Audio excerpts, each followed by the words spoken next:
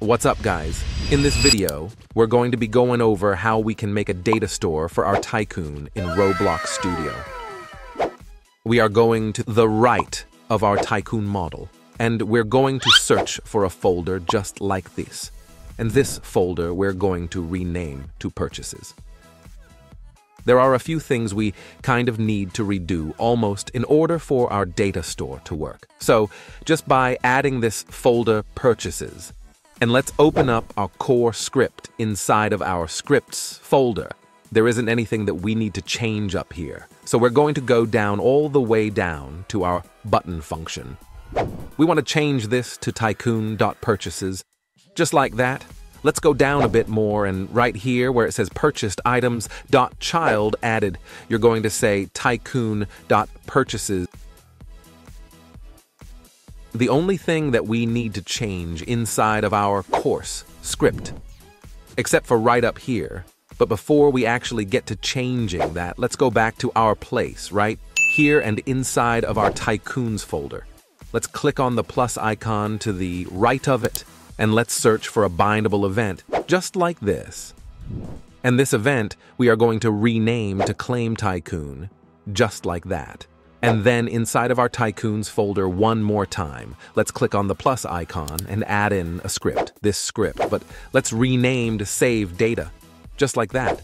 And we can close off that script for now because there's still something we need to do inside of our core script.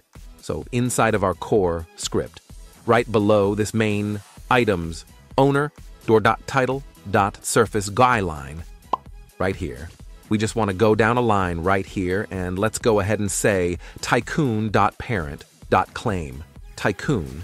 And then we're going to do colon fire just like this. And then we're going to pass tycoon as the parameter that we're going to be signaling to the other function inside of our other script. All right? So let's go over to server. Script service. Now, right here, open up leader stats just like that, and we need to create a brand new object value inside of our player. So we're going to drop down a few lines underneath our Has Tycoon instance, and we're going to say local. Tycoon owned will be equal to instance.new, bool value, not bull value, object value, I mean, and we're going to parent this to the player, just like that. Then we're going to say our tycoon owned dot name will be equal to quotation marks. Tycoon owned, we don't need to set a value for this just yet because we're going to be doing that inside of our core script right here whenever the player claims the tycoon. So we're actually going to go one line above wherever we fire this claim tycoon event right here. And we're going to say player find first child tycoon owned dot value and this is going to be equal to Tycoon just like that. So what this is doing is that whenever a player will claim the Tycoon, we're sending the Tycoon-owned value that we just made inside of the player to that Tycoon, and then we're going to be using this. So whenever the player claims the Tycoon, we can actually load in their data later. And that's why we're also firing this bindable event, for whenever the player claims the tycoons that way, we can go ahead and save their data. Let's go ahead and close off the core script and close off the leader stat script for now, because we don't need it. Next, let's go ahead and grab our tycoon. Right here, press Ctrl and D to duplicate it and let's move it over to server storage so that will keep our Tycoon nice and comfy, cozy right inside of there. Next, let's open up our save data script inside of our Tycoons folder that we added, and we need to get a few variables going. The first variable is going to be local players, and this will be equal to game get service players just like that. Next, we need to get our data store service. So we're going to say local data store service. This will be equal to game. Get service full quotation marks. Data store service just like that. And then, then we actually need to create a data store using our data store service. So we're going to say local data store will be equal to data store service colon get data store and then we put quotation marks here. And this is where we get to actually create our data store. What most people will do while they're creating their game is they'll set this to production, or they'll set it to unofficial, or they'll set it to testing. It doesn't really matter what you do for this. I like to put it in a different name than what I'm going to be using for when the game is released. Because that way, while we're testing, we might give ourselves an infinite amount of money or whatever, and we don't want to be at the top of the leaderboards, right? As our game gets released, that kind of ruins it for the other player. So, what we want to do for this data store is just give it a name. Whatever you want. To name it, for now, I'm just going to name it to my data store, and now we're going to create two different functions. One's going to load our data, and one is going to save our data. Let's start with the save data function. First, so, we're going to say function save data. I'm going to put parentheses right here, and this is going to take our player parameter just like that. Let's go ahead and press enter. And now what we're going to do is we're going to find the tycoon the player owns through that tycoon owned value that we put inside the player. So we're going to say local. Tycoon will be equal to player find first child parentheses quotation marks. And then this will be our tycoon owned value that we just found. And I'm going to say dot .ee value right there. So that is going to find the tycoon that the player has claimed next. We actually want to find the purchases. So we want to say local purchases, and this will be equal to our player bind. First child, tycoon owned dot value, and then dot purchases. Because that will find our purchases folder after that, we want to say local cool. Tycoon data will be equal to an empty table for now, as we're going to be inserting a lot of stuff into that next we're actually going to start inserting that stuff now. So we're going to say for i comma object. In i pairs, we're going to do purchases, get children with parentheses just like that, and then we're going to put at the end of this, I'm going to say table dot insert. We're going to put our tycoon data comma, and then we're going to grab our object dot name, just like that. So what this is going to do is it's going to loop through all of the objects in our purchases folder, and that's going to insert the name of that object into our Tycoon data table. So now we're going to be using a thing called a protected call or a call. Now, what a call is, is basically something that can run functions without erroring and provide. If your code was successfully ran, the reason why we use p calls most for data stores and a ton of other functions is because since it doesn't error, it can still continue with the rest of the script, even if there is an error or a problem. So we're going to say local success, comma, error, and this will be equal to p call function, just like this. And we're going to put the parentheses at the end of that. And then here's, we're going to say data store colon set async, and this is going to be our player.user ID. Like that, I'm going to put a comma and then our Tycoon data. So this is basically going to grab our Tycoon data table and it's going to save it to the player's user ID just like that. Next, we want to make sure that if it was an error, we want to warn the server. So we say if not, success. Then we're going to warn our error just like that. And that'll basically make it so if in case our data wasn't saved, we can warn the server just like that now. We want to make it. So whenever the player leaves, we delete the tycoon they currently had, and then we replace it with that tycoon clone that we just made right here. So we're going to grab our new tycoon, and this will be equal to game.server, storage, find first child, and then we're going to do tycoon dot da name at the end of the find first child parentheses we're going to say clone just like that. Then we're going to set new tycoon. Dot parent will be equal to tycoon dot parent. And then we're going to say our tycoon destroy just like that because we no longer need it now. Let's go down a little bit and let's go ahead and create a function for when we load our data. We're actually going to be calling this whenever our claim tycoon bindable event gets called. So we're going to say script.bas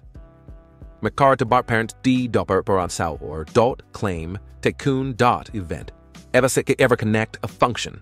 Darafob to this. This function is going to take our tycoon parameter, just like that, because that is the tycoon parameter that we're passing through earlier whenever the player actually claims their tycoon.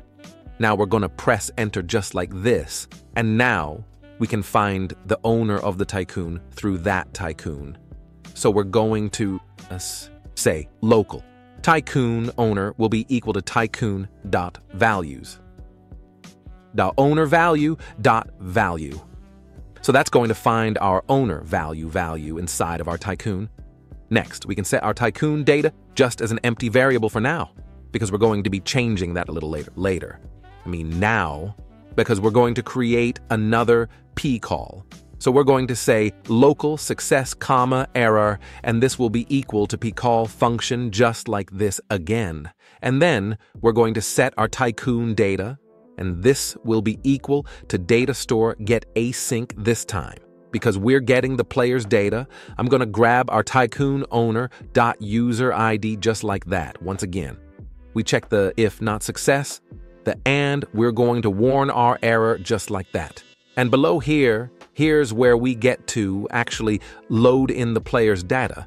So we're going to check if it's a success as if if we have saved the player's data or gotten the player's data in this case. And we have tycoon data. Then is we're going to create a tycoon clone and this will be equal to game.server storage. That's going to be fine first child tycoon.name. And then we're going to say clone at the end of that. Because we're creating a tycoon clone then, we want to say our tycoon clone. Parent will be equal to tycoon.parent. We're basically setting all the properties of our tycoon to our tycoon clone because we're going to be deleting our normal tycoon when we actually load the player's data. So now we say tycoon music cloned values dot owner value value equals to tycoon dot values dot owner value the capital OA value just like that. And then we get our tycoon owner like that. And then we set their tycoon owned value to tycoon just like that not Tycoon, the Tycoon clone. I meant to say, just like that. Next, we tell our Kai, Tycoon, to be destroyed. Just like that. And then we can set our Tycoon clone, just like that, to our Tycoon up here. So we don't run into any more errors now. Let's go ahead and retrieve the various folders from our clone Tycoon so I can grab our local purchases folder, and this will be equal to our clone, our Tycoon clone find. First child purchases, because as our purchases foldered, we're going to say local. A purchased objects folder, or say local purchased items folder. And this will be equal to tycoon, clone fine first child. Purchased item just like that. Other grab our local buttons folder, and this will be equal to tycoon, clone fine, first child buttons folder just like that. Then we're going to create a, a, et, et a essa loop. That's going to loop through all of our buttons inside of our buttons folder and check if the object value inside of that button matches with the name of the object that we stored inside of the player. Right up here when we insert the object's name into our Tycoon data table, which we saved to the player. Then we're basically going to move that object into our purchases folder in our new Tycoon, so let's say for I, comma button, in I pairs, uh, we're going to say our buttons folder. Get children do. If it is well, if our button fine for first child object, then we're going to say local object will be equal to our purchased items. Folder find, first child our button dot. Object dot value. Just like that. Now if it is our object and table dot, find our tycoon data table object.name. Then, whereas set the object dot parent, and this will be equal to our purchases folder So basically what this is doing is creating a loop through all of our buttons up here is checking if the button has a value called object. If it does, it's going to search through our purchased items folder and it's going to find that object. If it does find the object, and that object is inside of our Tycoon data table, then it's going to move that object to the purchases folder. Another thing we need to do, though, now is that we need to hide the button for that object, so the player can't buy multiple of that object. So let's go right up here after our save data function right here, and let's say local function, and this is going to be buttons. Just like this, let's name it buttons or whatever name you want to give it. And then this is going to take the param of button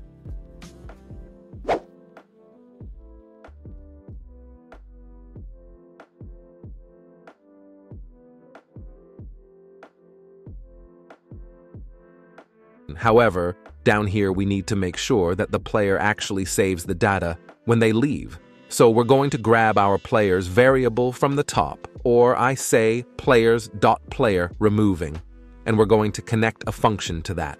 And this function going to take the parameter of player. Next, we just say our save data function, and we pass the player parameter to that, and that is all we have to do. So what this is going to do is that if the player gets kicked or if the player leaves, it's going to save the data for that player. So now, in case the game crashes, we want to make sure that we also save the player's data. So what we want to say is game colon bind to close which means if the game gets shut down for any reason, then we're going to call a function. We're going to loop through all of the players. So we're going to say for i comma player in i pairs, and we're going to say game dot players, get players, not get players from character, but get players. And then we're going to do this and recall our save data for that player. So that way we save their data. Even if the game crashes,